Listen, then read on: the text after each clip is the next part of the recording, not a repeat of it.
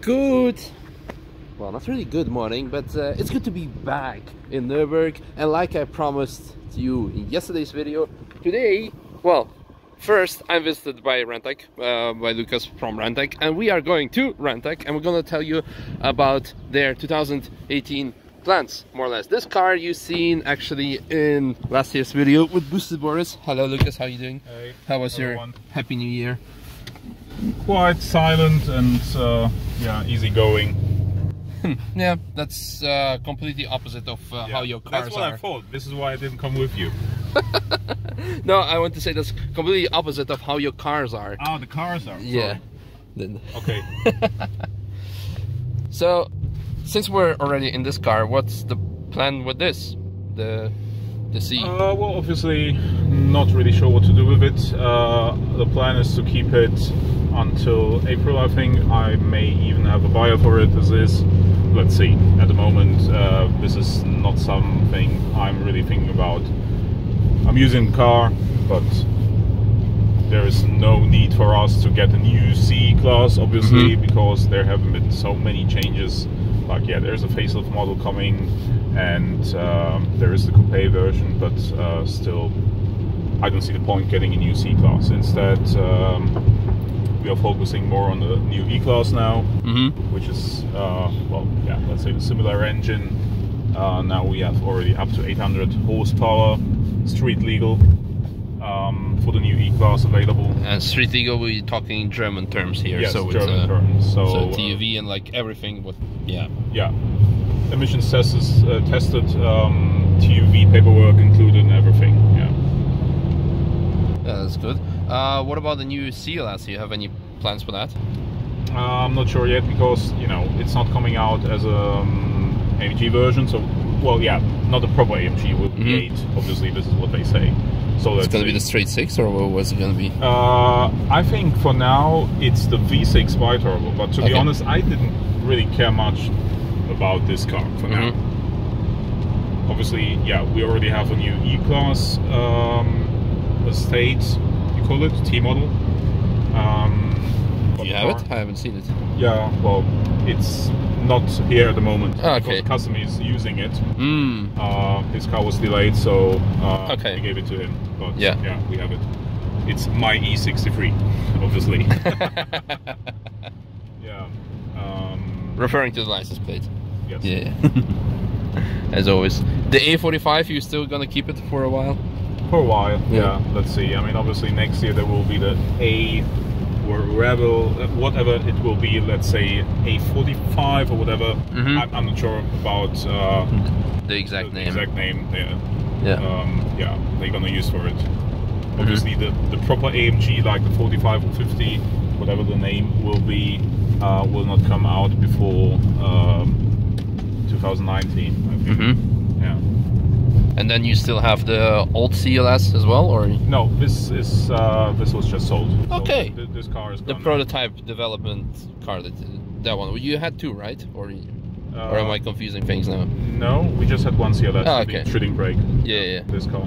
Yeah. That's that's gone now. Mm-hmm. Now, and for the major changes to tell you and uh, announcements, so we all are familiar with this building. You must be, especially for the old followers of the vlog, because I had my temporary office here uh, when I was camping at Atomic when uh, Apex was still being built, and you have also obviously the huge Renntech sign there. But as of from 2018, you're moving in here, or you already moved in here. Yeah, basically we are uh, just right now in the process of moving in. Mhm. So uh, And there is something special about this building. yeah, it's quite special. So uh, let's say we are uh, writing history here. yeah, yeah, yeah. because AMG has been in, in this building for many many years. Yeah. And uh, yeah, So everyone who has watched well my videos and also mostly actually Shmee's videos and all the people who find car spotting important and are really impressed by the fact of prototypes and when they c- come here and you have all those camouflaged AMGs that was this particular building and AMG is now moved uh, somewhere opposite the street. Yeah, Uh, it's basically across the old building where we were, Mm-hmm. which is the former Bridgestone unit. Because Bridgestone sold it Mm-hmm. to AMG, so they just moved out. Okay, so we'll obviously we'll still have lots of AMG prototype cars. Yeah. Um, and speaking of AMG cars, another big announcement is the car for the 2018, the GTR. So you have it here inside? Yeah, finally. Yeah, let's have a quick Finally, we have it. Tum tum tum. well, this doesn't look as if AMG was here. I like how everyone is covering their tracks. Ooh, that's Yeah, very well, cool. let me say this: uh, don't be alarmed by the looks of it. Obviously, You're just moving in, right? We're just moving in, so we are sorting stuff But out. I, I'm sure like everyone even like wants to see all the stuff that you have here, especially there. What engine is this? It's obviously uh, like V8 It's a AMG. four liter M177 um, out of an C63. This engine is in the process to be built to, to get 800 horsepower. Okay. Uh, well, while we are at it, what do you do to an engine to get this amount of horsepower? The C class is uh, replacing the uh, rods and the pistons, Mm-hmm. mainly with some other small changes I don't want to basically name here. Yeah, of course. Yeah. But uh, it's just a small modification, but the complete en- engine needs to be Mm-hmm. uh, taken apart. And um, as for this um, E63, you can go with 800 horsepower now without uh, any modifications to the. Wow, internals. that's actually very Although impressive. Basically the same engine itself, the block and everything. But uh, yeah, But they they use better well pistons and yeah, obviously right? because the engine comes with more power from Mm-hmm. factory. already. Yeah. Yeah, that's very good. Very interesting to see. Um, well, let's move to the main star of today's show. Well, probably. Um, well, obviously by now I shouldn't tell you what a GTR is, how much horsepower it has, and this and that and that because it's uh, it's obviously a new car, but everyone. Well, okay. Well, a quick recap of the numbers. Quick recap is it's 585 PS, which is uh, like 570 something horsepower. Uh, to be quite exact, uh, I yeah, well, 575 or something. Uh, when you put it on the dyno, it's slightly above 600 PS actually in stock form already. So uh, And again, just to, to explain, uh, some people think that it has to do with like taxes or insurance reasons that manufacturers, uh, well, put um, lower numbers, but it's actually because of uh, they want to have all over the world the minimal, well, the number that they say. It should be also if you're going to drive somewhere in South Africa or, or somewhere in Africa with very bad fuel, um, then you're going to have the same amount that they advertise, which is in this case 585. And here in Germany, with good fuel in uh, V-Power or 102, even you get obviously more, which is Yeah. uh, which is good. Now, the main interesting bit for me, and I guess my audience as well, uh, is it interesting for people to move from a GTS that you have to a GTR? And the most important point is obviously what are the plans for the car? Yeah, first question or the answer to the first question would be uh, it depends on the GTS you have.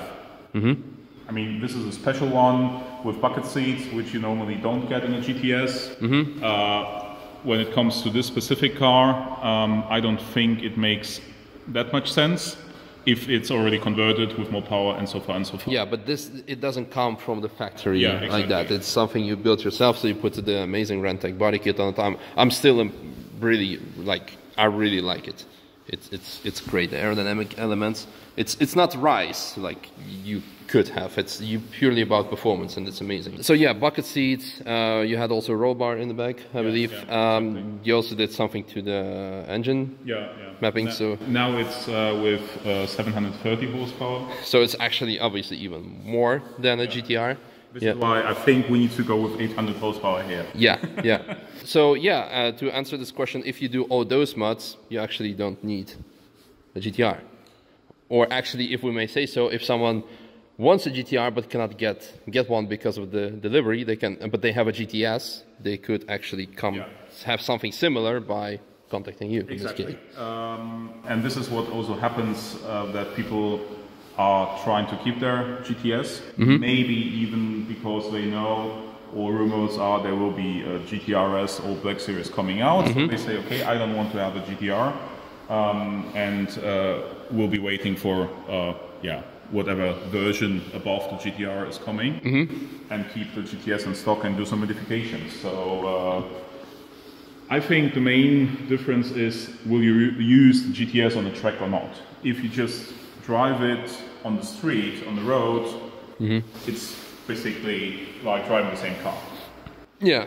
It's you know if you put it in sport mode, uh, uh, not not in sport mode. If you uh, keep it in, in uh, comfort mode, it's like driving the same car. Yeah. honest. From the inside, it's the same. I mean, obviously depending on the interior package you've chosen, if you have a Alcantara or not, it's really just uh, Yeah, yeah. But That, that's a very long, detailed answer, and uh, that's what we would like to hear. Uh, so, what regarding the plans? Because, well, you have this, which is already more in horsepower. You're gonna get to the, you said probably around 800. Yeah. Obviously, with great power comes great responsibility. So, example uh, on this, uh, also we can see that you have bigger brakes. Uh, so, what is like the total mod package that you have planned for the GTR? Um, for the GTR, um, obviously we need to modify the brakes. This is also why we have uh, chosen not to go with the carbon ceramics. They don't work that well on the racetrack, especially when you go to a, let's say, GP circuit. Yeah. On the Uh, Nordschleife, it's a different story. The main issue with the GTR is really the brake cooling. Mm -hmm. They don't have any. That's really like no one can understand this, and I mean I'm I'm a big fan of AMGs, obviously. Yeah, yeah. But this is something which is completely not understandable from my point of view. That there is no additional, uh, let's say, air scoop or whatever, Mm-hmm. Forwarding some fresh air to the discs and, and calipers. Mm-hmm. So this car will be fitted with our brake upgrade. Uh, so additional cooling, different brake disc, obviously uh, also modified calipers and, and uh, other pads, uh, hoses, which is understood. And this is uh, also a very important point. I always say, uh, a lot of people ask what's the most important bit when you decide to do track driving, whether it's a shitbox or an AMG GTR in this case, always make sure that your brakes, all the safety equipment is top notch. And in this case, it can prevent, well, nasty accidents in terms of like brake fading. And it will also increase the the lifetime of the components, and it, it's probably also ve- relatively very cheap upgrade, but it's gonna get a lot in return. So if you have a AMG GTR or maybe GTS, i- i- does GTS suffer from the same issue? Uh, yeah, it, it does. Yeah. Okay. So uh, make sure to check out uh, what Renntech has for you. Um, yeah. Okay. The brakes and what's the next bit? Well, the next bit is uh, a different uh, wheel, um, which is going to be a similar uh, wheel to the one we already had on the GTS. Well, Yeah. It's not on the car at the moment, but we have this wheel somewhere there. Yeah, we've seen it in the earlier videos, but Yeah. for, for the new audience on my channel, it's that. Uh, I presume it's lighter. It's even lighter than uh, the GTR wheel, Mm-hmm. although this is already quite a light wheel. Many people don't like uh, the looks of it with the, you know, brushed Yeah, rim. well, exactly. Yeah, yeah, this is. I think, why why uh, Shmee got his wheels repainted and completely black because he didn't like this either. yeah. That's a very light wheel. Obviously, uh, our wheels will have a different offset, a Mm-hmm. slightly different size, but still we want to uh, go with the same tires. Okay, suspension. Any mods to that? Uh, yeah, we have a special suspension which has been already uh, prepared um, during the development time of the GTS. Okay. but uh, this will be a step later at some point. But there- are some, let's say, also small bits we're gonna do with this car. For example, which is still something I don't understand, why this always comes in chrome. Yeah, it's the same question you can ask regarding the rims, but I mean, the rims are a different story because you can get also black wheels or something like this on uh, on a GTR, which, yeah, basically is, is a black wheel. But um, if you go and have a night package on the car, so everything is gloss black, like for example this bit, which is also available in chrome, uh, then why don't they offer an option for this? I mean, yeah.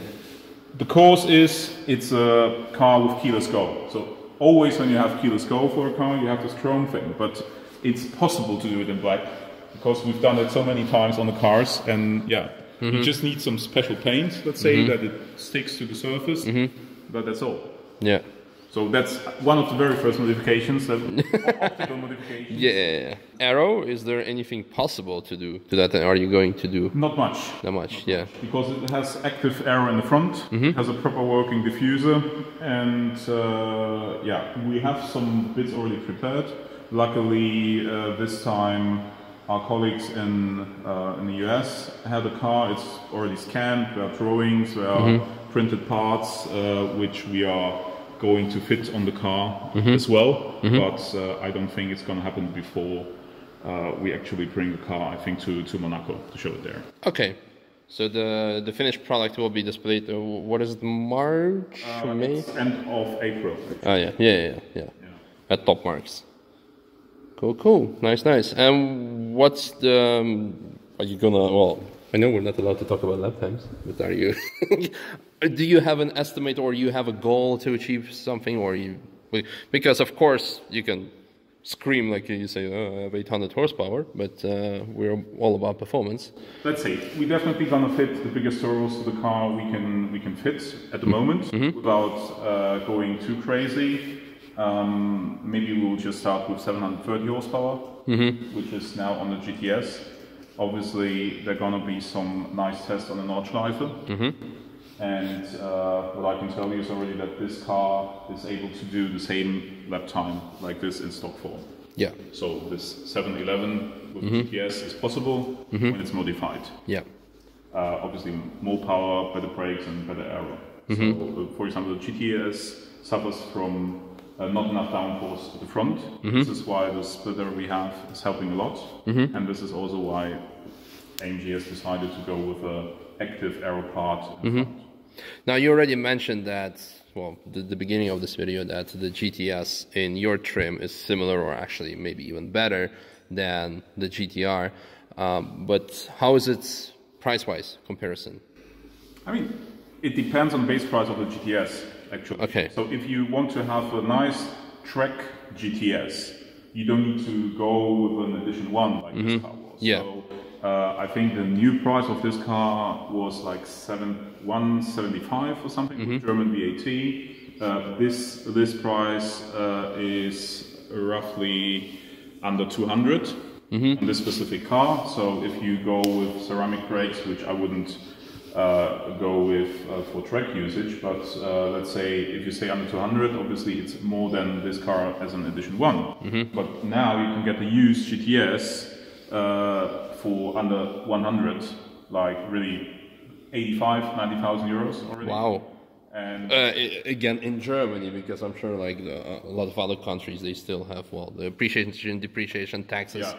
and all stuff. But yeah, it's just so surprising. it's half the money of a GTR. Yeah. And uh, if you go with some extra bits, you can, let's say, spend 20,000 on, on this car and it will be definitely a lot faster already. Wow. Also an option. Yeah. I mean, uh, it's not that we don't want to sell parts for the GTR, but there are enough customers Yeah, yeah. who already have the GTS. and Say, I've been driving it for one, two years, I really like the car, let's do some upgrades on it. Mm -hmm.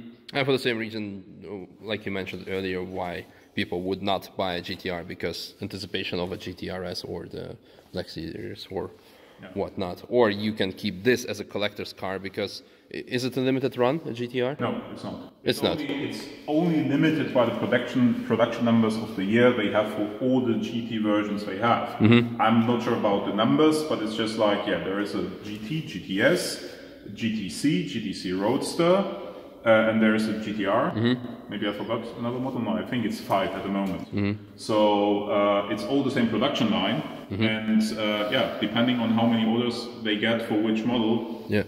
that's that's uh, the limitation or Yeah. the limiting factor at the moment. Uh, obviously, then uh, at a later point, then uh, there will be uh, a limitation. Uh, Yeah. yeah, when it comes to Black Series or whatever. Yeah. Yeah. Yeah. Yeah. And then it will be exciting to see what you're gonna do to that.